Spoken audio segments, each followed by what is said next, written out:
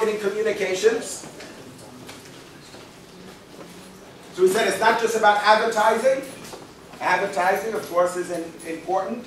What are some of the key takeaways from last time? Just briefly to recap, we talked about different advertising mediums. So once we decide what our target audience is, who is the people we're trying to reach with our advertising, that's what target audience is, is the people we want to reach with our advertising. And remember we said that usually the target audience is a subset of the target market. Who could explain why that is?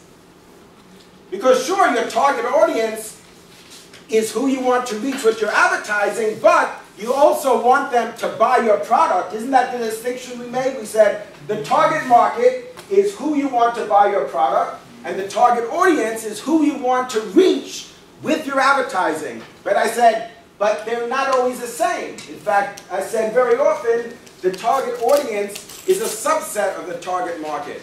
Why is that? Remember we talked about the $100 bottle of perfume? So why is the target audience for a given campaign going to be different than the target market? So the product, uh, especially like you said, like luxury product, it's more valuable more people know about it. So if, you, the people who can't afford it know about it, then the people who can't afford it want it more because it's like, like you said with the BMW, like everyone knows it's a BMW or Mercedes or whatever. So. So we said that um, one of our objectives certainly is to build awareness. That's what Stephen is telling us is that we want to build awareness. We want to build brand awareness. That's certainly one of our objectives. But we said that's the unwritten objective, really. You don't need to tell an advertising firm that um, you want to build brand awareness. Because if it wasn't for branding, it wouldn't be advertising. Would there? What do you think? I mean, what would you say in the ad? Unless you're just going to advertise to create category need for orange juice, then what is the ad's going to talk about if it's not going to talk about the unique selling proposition of a particular brand? We're not going to talk about the brand promise. We're not going to talk about the points of difference and the points of parity for our particular brand in a category.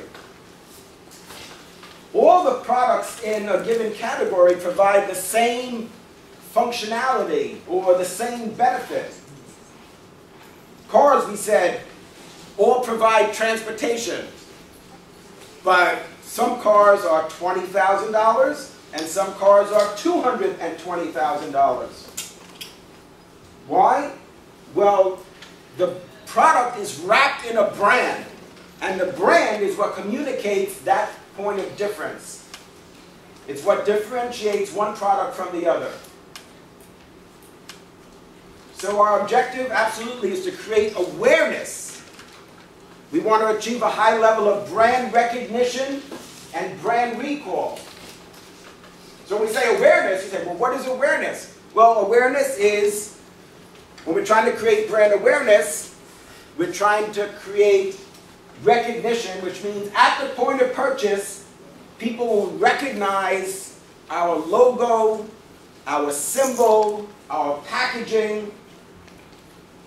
And that's why in every ad, you always see the logo for the company. Not all companies have symbols, but you always see the logo for the company. That's a must.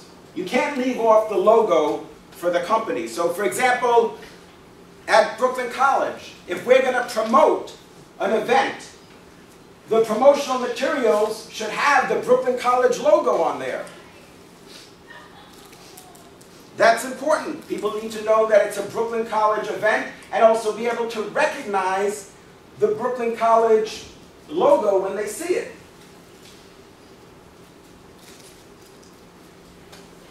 So the target audience is who we want to reach with our advertising. And to be more specific, let me say this. it's not something mysterious. Our target audience could be women between the age of 18 and 39 who have at least high school education that are of any race, or it might be that we want to specify a particular race. We say that um, our target audience is women 18 to 39 that are African American or Asian. And the reason why it's important to specify, because our target market is all women. We want to sell our $100 bottle of perfume to all women from 18 to 88. Be ambitious, you know, you gotta think of these things. Don't rule anybody out. 18 to 88. And all religions, all nationalities, all income levels. See, so it's all those demographics. So when we say, what is the definition? How do I, so coach, when I actually write it out, what do I put down when I say this is my target market? Well, you specify all the demographic characteristics of the people that you want to buy your product. And in some cases, it might be all religions, all races, all income levels, all levels of education. Now, that being said, we have to decide if that's our target market, everybody that we want to buy our product, who is going to be the focus of this particular advertising campaign? Now we're going to have multiple advertising campaigns that are in place simultaneously. But the one that we're going to be developing is going to focus on not women that are 18 to 88, but women that are 18 to 29.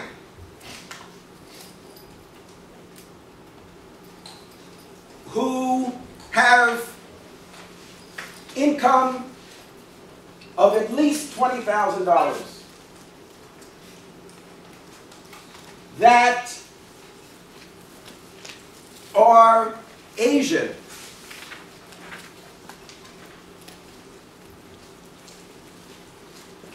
So once we know who the target audience is, that's going to determine what media is best to use to reach our target audience. So two important aspects of advertising are reach and frequency. So before we can reach them, we have to know who they are. So of course, Michael, reach is important. I got it. Reach is how many people are going to be exposed to our ads. But we have to define who those people are. Once we define that it's women that are 18 to 28 who are Asian and have an income of at least $20,000, then we're in a position to decide which TV channels to advertise on. Which radio stations? Which newspapers to have print ads? Which magazines to have print ads? Where we're going to put our billboards? What the messaging is going to be? And what talent we're going to use? What does that mean when we say what talent? So in other words, who is going to be in the commercial? So if it's if our target audience is Asian women, then is it going to make sense to have an African American woman in the commercial? Because remember, we want our commercial to resonate with the target audience. That means that they could connect with that commercial. that it's going to be meaningful to them, that it's going to get their attention. We're going to create interest, desire, and action. What is the action? The action is that they're going to buy the product.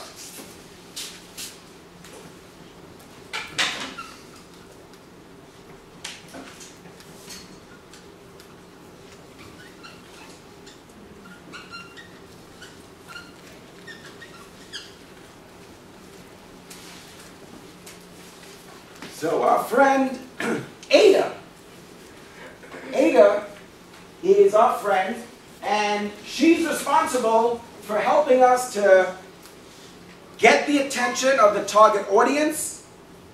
So remember, we said our ads, whether it's a print ad or a commercial, has got to have stopping power. It's got to be able to get people's attention. Why? Because there's a lot of clutter. There's a lot of noise. What's clutter? Go ahead, Annie. Like the other businesses that are not, like the other things going on around the road. Right, absolutely. The other commercials, for example. The other billboards. So, take Times Square, for example. Or Hong Kong. Or Las Vegas. Or Miami. Those cities have been transformed by billboards. Because there's billboards everywhere. That's clutter. So if next to your billboard is another billboard, and then another billboard, and another billboard, that's clutter. And very often what happens is we experience sensory overload. We see so much, there's so much stimulus that is, we can't perceive everything.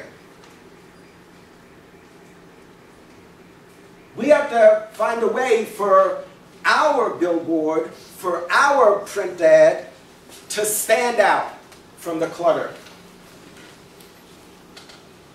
So we got to be able to have that stopping power.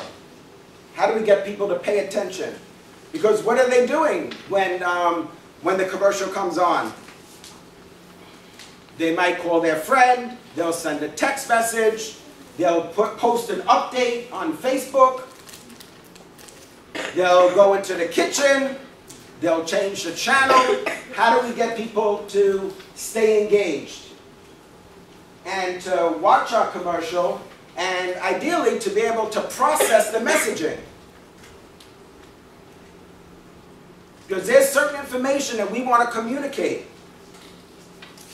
We want to communicate our value proposition, our unique selling um, point. What makes us unique relative to other brands in the marketplace? So we encode that. We create this commercial or a print ad. Well, what happens if we've encoded it, then the viewer has got to decode that messaging. Means they have to process the messaging and learn the messaging.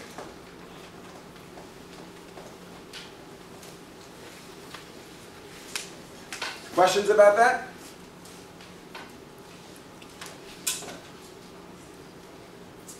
And we talked about the different media types, right? So let's talk now about scheduling. Because last time we started to talk about day parts, like what time of day we're going to advertise, for example. And we need to decide which magazines we're going to advertise in. Because it's usually not going to be just one. So we're going to look at the profile of the readership. Magazines have a profile of their readers. What's the profile? The profile tells us what percentage of the people are 18 to 29, what percentage of the people that read their magazine are 30 to 39, what percentage of them make more than $20,000, all the demographic things that we were talking about. So what we try to do is align the profile of our target audience, those that we want to reach with our advertising, with the profile of the media. Every magazine has its own demographic profile. Some magazines are heavily read by women. Very few men might um, read a, a particular magazine. So for example, how many men here read Cosmo? See what I mean? But you should read it. You should. That's one of Coach's tips. It'll change your life forever. Um, what would you think, for example, a magazine like Ebony? What percentage of, um, of the readers are female black women? Right? Without even going to their website, because you can go to their website and get this information, but they're targeting African American females. So we look at our target audience and the profile of our target audience and try to match that up with different magazines. It's quite a challenging um, responsibility to do that. You're not going to find one magazine that's going to reach everybody in our target audience. So very often what we do, um, in my experience, you advertise in at least 10 magazines.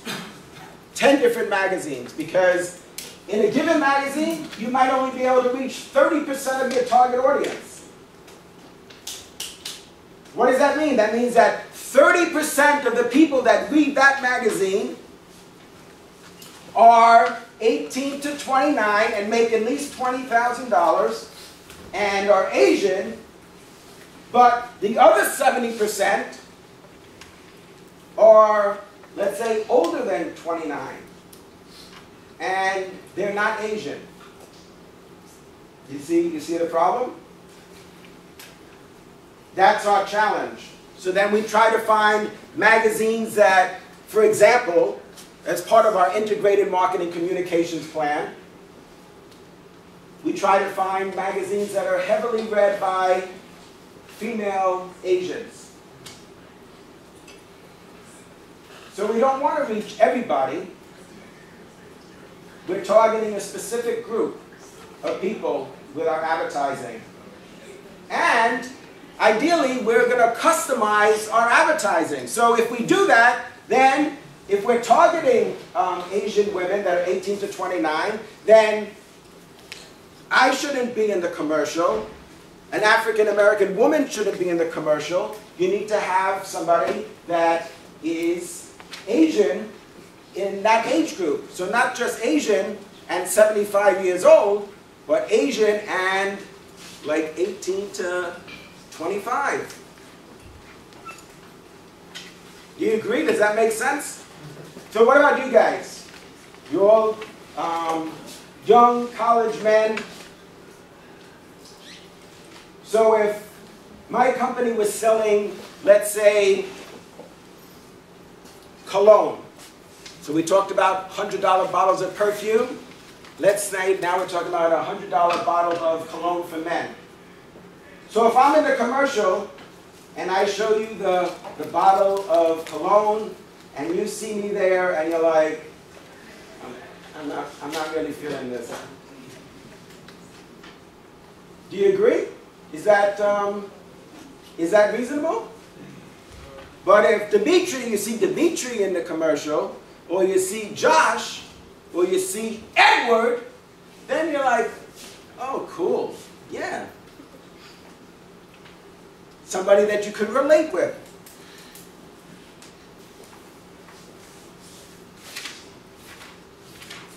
Now, we have to decide on a schedule. We have to decide how often we're going to advertise. So we're talking about integrated marketing communications. Part of our plan is to advertise. Well, we have to decide whether or not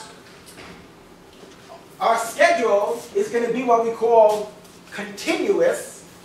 So are we advertising all the time?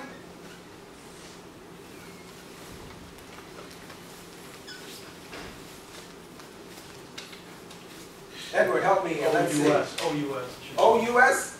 Wait, wait, wait. I don't remember. Continuous. That's pretty close. What do you think, guys? What's going on here? What's wrong with this marker? It's not, it's not writing properly. Let's see. Continuous. Yeah, I think this is right. All right. So let's say these are months.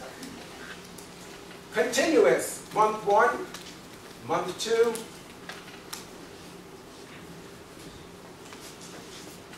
month three, month four, month five, six. So this is January, February, March, April, May, June, etc. So this is an example of our schedule. What is our schedule?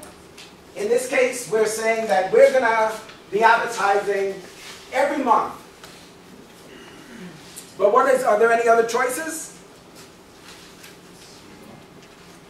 What about if we decide we're going to advertise every other month? How about seasonal? Yes, we could, we could um, advertise on a seasonal basis. If we're advertising every other month, what do we call this type of scheduling?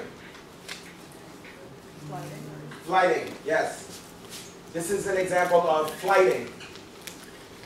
So, we could advertise every month, or we might, let's say, advertise every other month. So flighting means that there are periods during which we advertise, and then there are periods in which we don't advertise.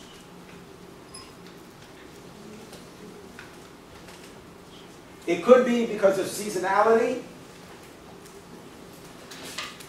Do you think this makes sense? Um, do you think flighting makes sense for every business, or what do you see as being the, maybe a, a weakness of this approach? I mean, if it's a standard SKU item on, uh, on shelves, it might not make sense to do like flighting. But if it's something like costumes or, or Christmas related, then flighting or seasonal might make more sense. But general day-to-day items might not want to just do flighting. And what would be the, the risk of doing that? Losing audience, You're losing audience and sales, sales, and we're, um, we're investing money to create awareness. and it's losing awareness. And then as we're creating some forward momentum, what happens? We stop advertising. And then, Annie, we have clutter. So out of sight, out of mind. So we stopped advertising, we think, for whatever reason, we stopped advertising for a month. And so while Coke is not advertising, who do you think is advertising? Right? So you're not seeing for a whole month, just for example, right? Just this is a hypothetical example. Coke doesn't advertise for a month, and all you see is ads for Pepsi. See, that's a that's a problem. That's a concern. But like Edward's saying, there may be some situations where that might make sense. And there's some periods when we increase the amount that we're spending on promotions, right? Basically, everything we're talking about here is on the promotional elements, whether it's advertising or public relations or direct mail or sales promotions. All of those are promotional elements. One of the four P's. Remember I told you I said um, one of the four P's is promotion, which includes advertising, but advertising doesn't start with a P, right? But advertising is certainly an important promotional element. So our schedule, right, our schedule, we have to determine if we're not advertising during that month, are we, do we have any sales promotions? Like what would be some examples of sales promotions? coupons and. Yeah, coupon, A coupon, what do you think? Is, is a coupon effective? So you have a coupon that you can redeem at the retailer that's for a dollar off. Do people use coupons? Yeah, people use coupons. Their redemption rate is relatively low, but certainly um, consumers use coupons. And the effect of the coupon is what? What does a coupon do? Saves you money. It saves you money, which means Gets you in the store. it, it might get you in the store, certainly um, More sales. more sales by lowering the price. So the impact of the coupon is it lowers the price. And if it lowers the price, then absolutely it's going to increase sales, it's going to get you in the store. All of those things are going to happen. And what about deals?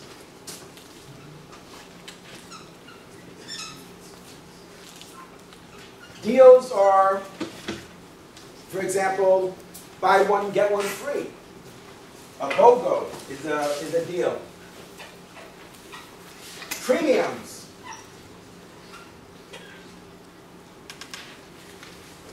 So, an example of a premium would be that if you buy the um, shampoo, that it comes with a small bottle of conditioner. Or maybe it's not even a small bottle. Maybe if you buy the shampoo, you get a same size bottle of conditioner. Rebates, absolutely. What do we, um, what is, in addition to what we mentioned already, what is um, something that we hope is going to happen as a result of these sales promotions? More sales than cost cut. Absolutely, so we're definitely hoping that the total revenue is um, gonna compensate for the price reduction. So overall, we're gonna have total dollar sales that has increased, the number of units has increased, and our total um, margin has also increased. So that if we lower the price ten percent, that sales increase by maybe thirty percent. And what else? Think about um, what we know about, remember we talked about behavioral segmentation and usage rate.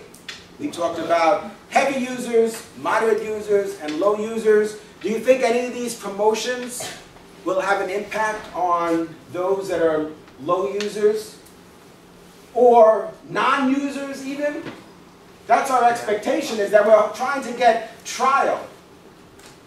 So if, one of the reasons might be for people not buying our product is the price. So there's a risk, there's a financial risk. Sometimes there's a social risk. What's a social risk from purchasing a product? Um, it's, if people just generally don't dislike the product. like- Yeah, that people might think um, that you're not cool. So that might be a concern. So you want to buy a product that's gonna that's gonna make you um, cool. That's gonna uh, make you acceptable. That um, you a product that your friends approve. So there's a risk for certain products that um, if you buy that product, it can impact, let's say, your popularity. But sometimes we're worried about the price. And so if you get a coupon that's a dollar off, or $20 off, or a $100 rebate, then that reduces the financial risk associated with making that purchase. And we're anticipating that that's going to result in trial. That people will buy the product, they'll try it, even though they maybe they never used it before, and then there'll be repeat purchase. So one of our objectives of um, a promotion is to get people to try the product who have never used it before, and ultimately to get them to buy the product again. In some cases, we'll even go so far as give free samples. So forget about the coupons, right? Well, I'm going to give it to you. That's how much we um, have confidence in our product. We're going to give you a bottle of Tide. We're going to give you a package of Oreos because we have so, we're so convinced that once you taste this cookie, that you're going to love it. And when you open it up and the cookies are done, there's a coupon there for a dollar. So free samples um, for some companies is a major part of their promotional strategy. In fact, more and more um, sampling is being done in store. So they want you to try the product at the point of purchase. In fact, there's point of purchase displays.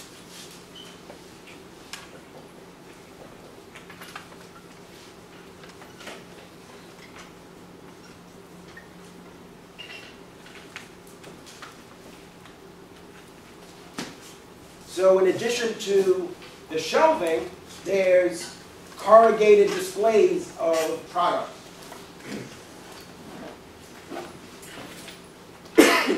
We're trying to get trial, but also stimulate impulse purchase. So we're trying to get people's attention by having these displays in the store. What's the difference between a contest and a sweepstake? Because those are types of uh, sales promotions, but you might think that they're the same, but they're, they're really not. Sweepstakes, contests, those are types of sales promotions. What's the difference? You could win something, both of them will allow you to potentially win something, but a contest is based on skill. So you have to do something other than enter into the drawing. You have to design a logo, for example, or develop a print ad, or write a jingle for the commercial. So you have to do something that demonstrates some skill. A sweepstake, all you need to do is enter your name basically into a raffle. And you might win a trip to Hawaii. No, we don't like Hawaii? What? Where do you want to go? Costa Rica.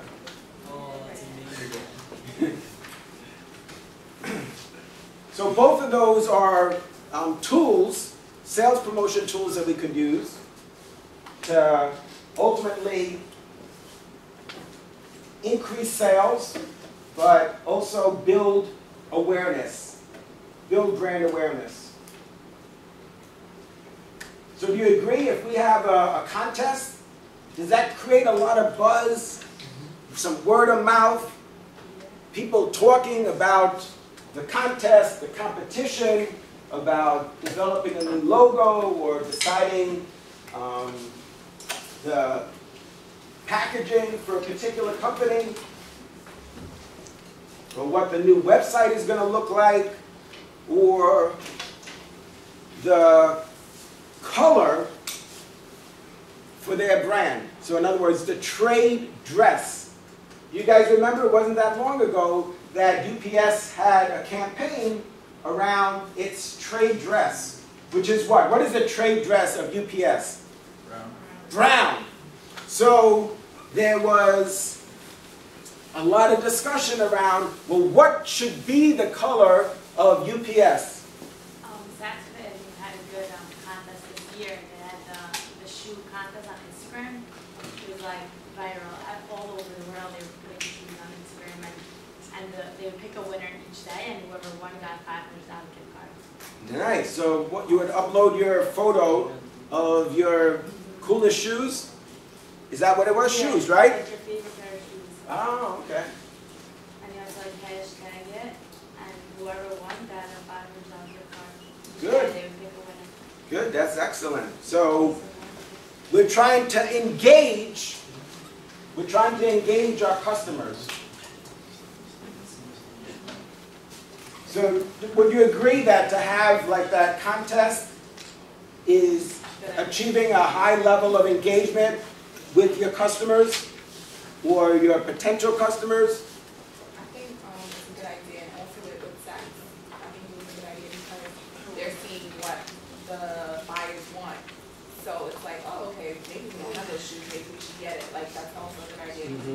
practice with customers all over the world.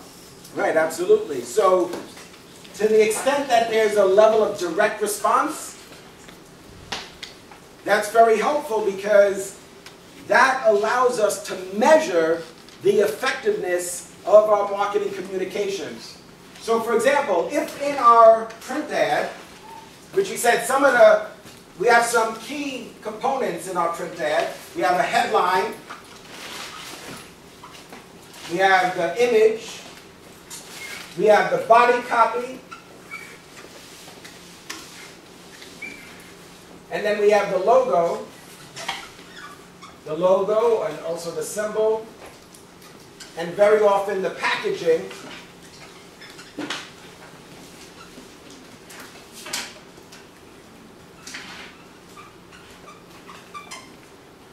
Why does, why do companies show, um, I think we're all in violent agreement that you need to include the logo in the print ad because we're trying to create brand awareness.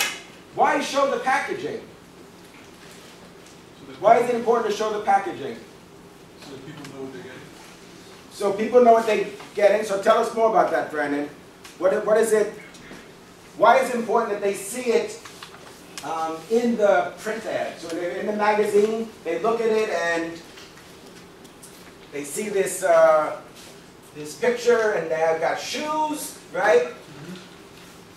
Okay, so that's like interesting and then we have some headline that's gonna try and get people's attention. And we could also have a subheadline Remember, the purpose of the headline is to get attention. It's brand awareness. And when does that become significant? When is brand awareness becomes, Yeah, so in other words, the packaging is, because sometimes the packaging can be appealing to the eye, so that can get more sales, that can boost up sales. yeah, so in the store, what we want to happen is people are going to recognize the packaging when they see it. So the first time they see it is not in the store, they already saw it in the TV commercial or in the print ad. So when they go into the store, they're going to recognize it. You see why that's important? When you're shopping, so that you'll recognize it at the point of purchase. And for some companies, um, they have trade dress that's strongly associated with their brand. Whether it's Kodak Yellow or red for Coke, whatever brand um, it is, some companies definitely have a strong association with a particular col- color. They have a very strong um, trade dress. But we want people to be able to recognize it at the point of purchase. Questions? Have you heard about it? The casino, which um, that encourage you to pay in the cash more money. Have you ever heard about the story about it? No. I'm just gonna relate to what the packaging. About carpet? Yes, the, the carpet in the casino, they encourage you to pay more money to play with the machines or something, and then Oh, that might one be of the like packaging color or psychology or something. Oh, the, car- the way the carpet is Yeah. designed? Yeah, it's all designed Oh, okay. Like designing. So Oh, that's interesting. I'll have to keep that in mind. I just gonna relate it. Don't look at the carpet, folks. That's it. That's the key takeaway, right? Like the, all the lights and then getting stuff, like they encourage you to pay more money. Like, That's interesting. How do we know how many people saw this print ad? And we're going to talk in a moment about the level of circulation for a given magazine, but how are we going to be able to measure it? Go ahead, Brandon. Well, it depends on where you put the ad in the first place, whether it can be in a certain magazine or it can be on a billboard. You know, for instance, if it's on the highway, most likely you're gonna get a thousand or more people looking at it as you're driving by, so it's gonna stay in their mind. So, and one of the things that has um, enhanced the popularity of outdoor advertising is a device that Nielsen Media developed called the NPOD.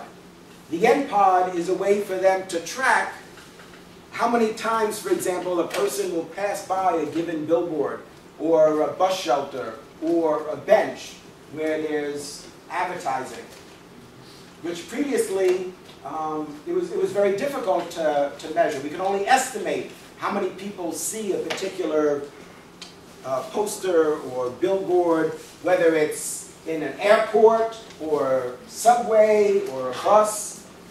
But that device is a way that we could get a sample for a given individual and measure how many times they pass a certain um, type of outdoor advertising and even a particular ad in a particular area, which was not possible before. For print ads, in terms of direct response, we could have, for example, a 1-800 number. Now, what we would do, the reason why this works is, what do we want people to do? We want them to call. So one of the things, we definitely are eager to understand the level of exposure. We want to know what is our reach. So we want to know how many people saw this print ad. Now we're going to be in 10 different print ads. This our print ad is going to be in 10 different magazines. So that means what? We're going to need 10 different 800 numbers. You see why? Because what's going to happen is when they call in to get a free sample, or, for, or to ask that we send them a coupon, or to send them a catalog or a brochure, we're able to track that. We know how many calls came in. And if we have a different 1-800 number, then we know from that 800 number is the people who saw the ad in Better Homes and Gardens. And from the other 800 number are from those who saw the ad in Ebony. And from the other 800 number, those who saw the ad in Vogue. And the other 800 number, those who saw the ad in Cosmo. So that's very helpful. Maybe in some cases, you might find out, because we need to know if our advertising, if our promotional campaign is effective.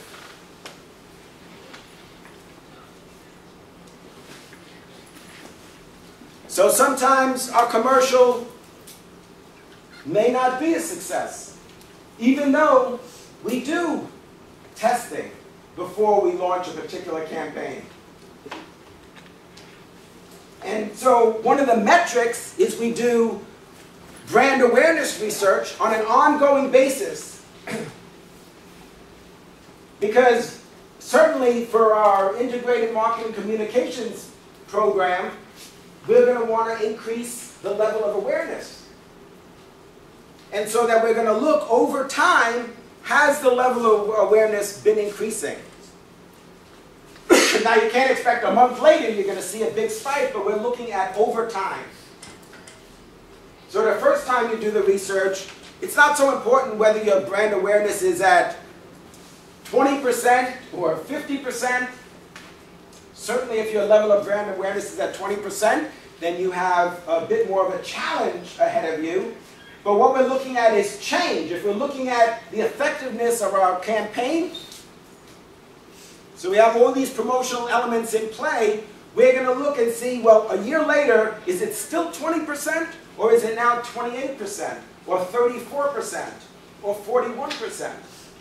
And continue to measure that over time and look for changes. That's an indication of our success. But there's got to be reach. So we need to be, there needs to be exposure. So that's why this type of direct response where we encourage people to call or to visit our website because those things, those actions, remember, awareness, we said attention, interest, desire, and action, that action is memorable. Well, actually, measurable. It will be memorable, but importantly, it's something that we could measure. It's measurable. So we need to know, people are spending five hundred million dollars a year on advertising. Some companies, some are spending a hundred million, fifty million. It's a big investment. That's what we tell the finance department, isn't it? You think the, um, the finance department and organization and the accountants, you think they want to spend two hundred million dollars on advertising? They think it's an expense. But we keep saying, no, it's not an expense, it's an investment. And over time, we're going to see a return on our investment. We're going to reposition ourselves in the marketplace as an innovative, contemporary, user-friendly brand. And we're going to, as a result, sell more products. And if we sell more products, I like to think we're more profitable as a result. We need to be able to compare the different magazines, for example. So let's say we have two magazines, Better Homes and Garden and Ladies Home Journal.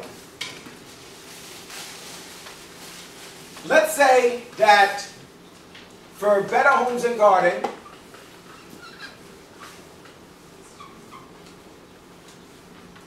the cost of a full page color ad inserted one time is $400,000. That's actually a real number.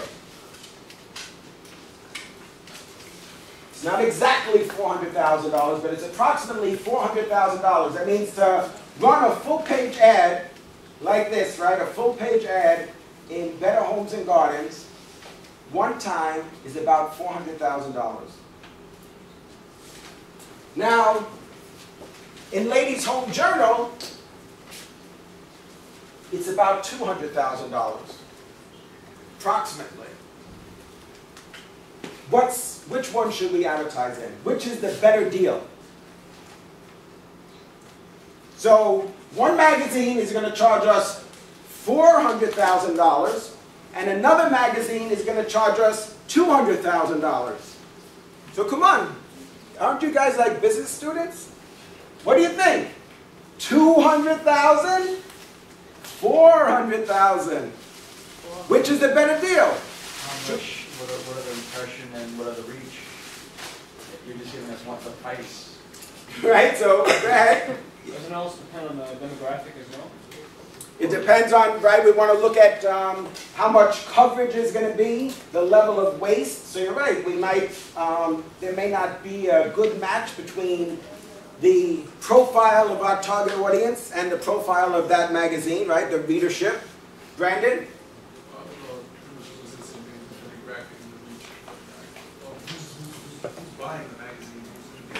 Right, so we know, we need to know the readerships, the demographic of the readership, and importantly, in terms of reach, we need to know, in magazines, we need to know the level of circulation.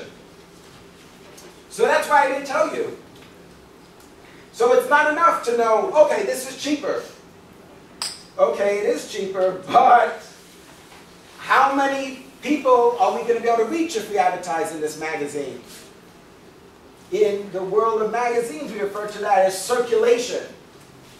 So we need to know, we need to look at the cost per thousand. CPM is cost per thousand. And students always ask me this, they said, M, I don't, I don't get it. What, why is it not CPT? Like, why are you trying to confuse us? M in, is a Roman numeral. Roman numeral for a thousand. The Roman numeral for 100 is C. So that's where they came up with CPM, cost per thousand. So we need to look at the cost per thousand. So that we can make a comparison. Because we can't make a comparison here. We know that this is twice as, ex as expensive. But like Edward is saying, that's not enough information. So what we do is we take the cost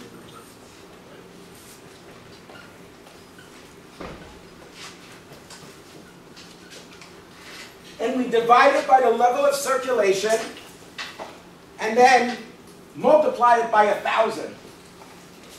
Why do we multiply it by a thousand? Why don't we divide it by 10 and then multiply it by 17.6? Easier number to deal with.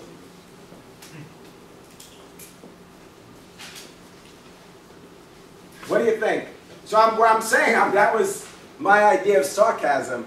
Okay? But I'm saying, like, there's a reason why we multiply it by a thousand. Why? Yeah, so if we take the cost and divide by the circulation, that gives us the cost of one. The cost to reach one person. But we're looking at the cost to reach a thousand people. And an industry norm is that we look at the cost to reach a thousand people. Doesn't mean that you can't look at the cost to reach one person, but in terms of the way we buy um, and sell media, we're looking at very often um, groups of thousand.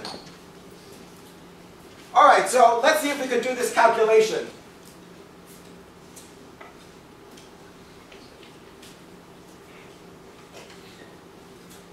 Now, as a rule of thumb, so when you do these calculations, when you calculate the cost per thousand, in the United States, you're looking at a cost per thousand between approximately $20 to, let's say, about $120. So why do I share that with you? Why do I give you that insight? I can tell you from looking at cost per thousand um, calculations is because if you do this calculation and you get like 12,622, something is wrong. Or you get something like 1,397, something is wrong. Right? That's generally the kind of range that we're looking at. Now it depends on the medium.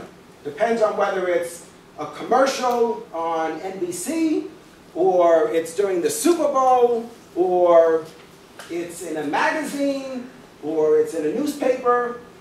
But that's a, a range in the United States that's helpful to us to get our, our minds around that. So let's see. Who could do the calculation? What's the cost per thousand for Better Homes and Gardens? Fifty. So the cost per thousand, the cost to reach a thousand people, if we advertise in Better Homes and Gardens, is fifty dollars. So they have a circulation of eight million. The cost to reach a thousand is fifty dollars. Now the reason why we're doing this is because we want to be able to compare these two options. And we're going to do this for all the magazines. We could do this for 20 magazines. But we're trying to have an apples to apples comparison because we can't compare this and this because the circulations are different. And so what is the cost per thousand here?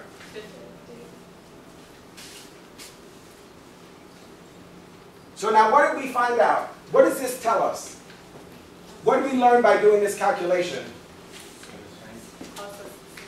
So the cost per thousand is the same. So Better Homes and Garden is double the price, but we reach twice as many people. But Ladies Home Journal, and this is the way advertising is priced. So to buy advertising, it's based on the level of reach and frequency. So this is one time. So that's the frequency here is one that we're talking about. And the reach is based on that circulation. So they understand that they reach half as many people as Better Homes and Gardens. So that means they have to charge less.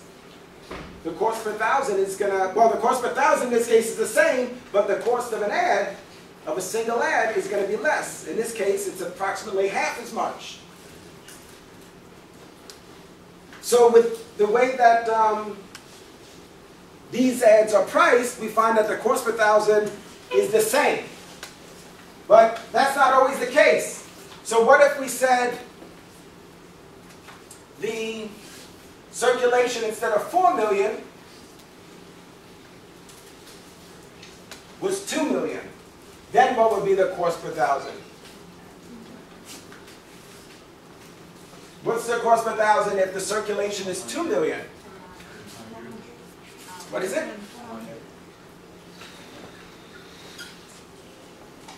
So now what do we do? So if the cost per thousand is the same, then we're gonna look at, um, like Michael and some others were saying, Brandon, we need to look at the profile, the demographic profile of the readership and see if that matches, or it's never gonna really be a perfect match, but is gonna provide the least amount of waste and the most amount of coverage. What about here? What does this tell us? If the course per thousand for Ladies Home Journal is hundred dollars, yeah, it doesn't sound like such a good deal. Now remember, when I told you before it was two hundred thousand dollars versus four hundred thousand, he said, but well, Edward said, well, we don't really have enough information to decide which is better. It's true, it's less expensive, right? So here, the cost of the ad is half of the cost of the ad here. But in terms of cost per thousand, it's much more expensive. So you see the cheaper, even though this is cheaper in this example, in this modified example, even though the ad itself is half the price, you say, Coach, I got it. Look, that's half the price. This is a deal. But the cost per thousand is double because the circulation is much lower. So here we reduce the circulation for example purposes to only 2 million. Questions about that? No, you guys know how to calculate cost per thousand? Silence means agreement?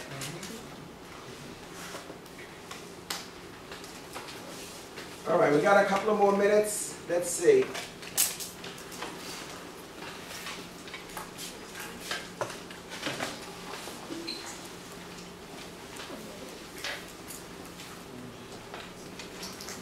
What else might be some of our objectives for our marketing communications plan? So remember we said our promotional elements include advertising, publicity. Last time we said publicity is an unpaid form of advertising. The problem is we have no control over what the um, reporter or news editor is actually going to say. Some people say there's no such thing as bad publicity because they think that, well, it just creates hype, it creates word of mouth. it depends on the category. I mean, certainly if they say your product isn't any good, I don't know how you could sort of spin that into a, a positive um, message. But with all these different promotional elements, whether it's advertising or publicity or sales promotions or direct marketing or public relations, in addition to creating brand awareness, which includes recognition and recall, who remembers the difference? What's the difference between brand recognition and brand recall? Recall is unaided. Yes, recall is unaided, absolutely. So Josh says that brand recall is unaided. Brand recognition is a type of aided awareness. And well, who could explain? Brand recognition is, go ahead, Brandon. Brand recognition would be where the uh, commercial would play once in blue on television or something, and then you can sort of, and in that sense, you you remember the brand because you see that, okay, this is Pepsi, this is the Pepsi commercial. But when it comes to brand recall, let's say you go into a restaurant, have to kind of go back searching in your dome and trying to remember, okay, uh, I think, I think it's Pepsi that I like, so. Yeah, so, um, can I paraphrase what you said? Okay, so what Brandon is saying is that um, we're gonna um, recognize that logo or symbol when we see it. So based on the advertising or and our other promotional elements, we're gonna be able to recognize the logo, the symbol, the packaging when we see it. Usually, uh, we're most concerned about seeing it at the point of purchase, which means in the store. And then Brandon said that recall is we gotta search our mind, our dome, our memory for the name of the brand. Like for example, in a restaurant, they're not holding up flashcards and saying, do you want this? How about this? Or this? Or this? You have to retrieve from your memory. They say, what do you want to drink? Then we have to remember Pepsi, Sunkist, Mountain Dew, whatever is um, in our consideration set that we prefer. Do you remember we said that the consideration set and the evoke set are related, but the evoke set are all the brands that come to mind in a particular category. The consideration set are those that we would seriously consider purchasing, or maybe we do purchase already. Questions?